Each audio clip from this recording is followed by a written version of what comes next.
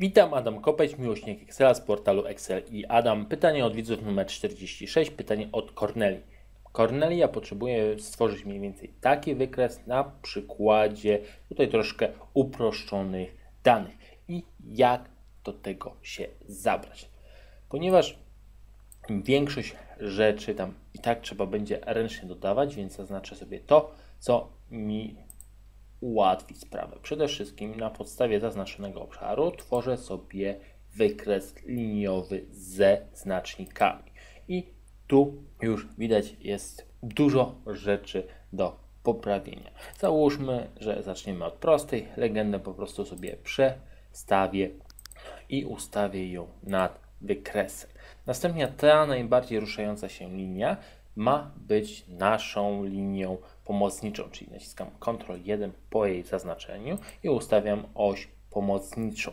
Przy okazji tutaj w projektowaniu danych zmieniam sobie typ wykresu na kolumnowy, zatwierdzam OK i już wykres jest trochę lepszy, bardziej przypomina to, co chcemy osiągnąć. No, odpowiednio go sobie jeszcze troszeczkę powiększę. Kolejnym aspektem jest numerowanie. Tu jest po prostu 1, 2, 3.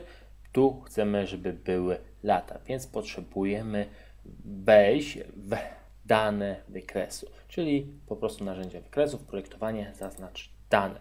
I tu mamy etykiety osi poziomej, czyli kategorie, edytujemy sobie, zaznaczamy sobie rok. Tu dopiero właśnie w tym kroku ustawiamy kategorie, ponieważ kategorie są liczbą i jeśli byśmy zaznaczyli je na samym początku, Excel by dołożył nam do wcześniejszych serii i to stanowiłoby dodatkowy problem w naprawie. Dalej, na wykresie, o który nam chodzi, nie chcemy mieć linii, to niestety jest po prostu proces czasochłonny. Kolor linii ustawiamy na brak i tak potrzebujemy zmieniać wszystkie nasze linie krok po kroku, tak żeby zostały same znaczniki. Po tym jak już mamy same znaczniki, możemy sobie wejść na układ i tu mamy linię. Chodzi nam o linię od maksimum do minimum.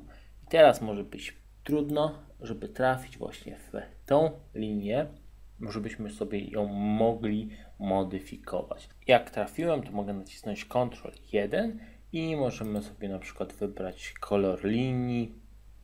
Załóżmy, że może być to po prostu linia czarna, może być linia dowolnego koloru. Tutaj sobie zwiększymy jej szerokość odrobinę i możemy ją modyfikować w ramach naszych potrzeb.